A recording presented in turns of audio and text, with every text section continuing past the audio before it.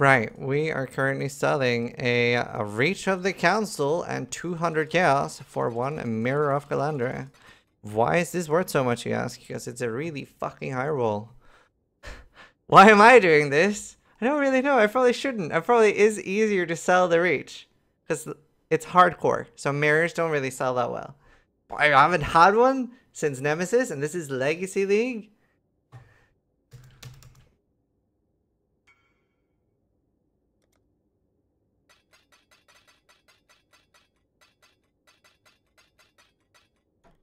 Are we doing this?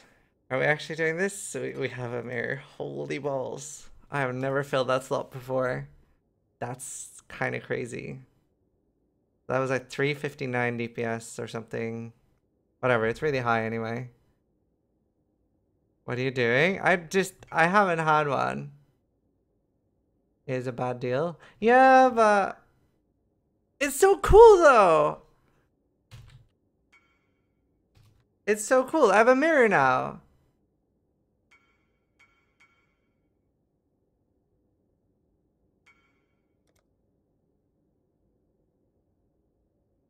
They don't sell? Yeah, I know.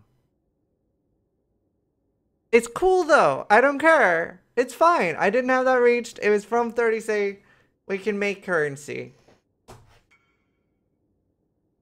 Mirror Strand? No. You ripped yourself off? Don't care. I wanted one. I'm happy. Hope you guys enjoyed it.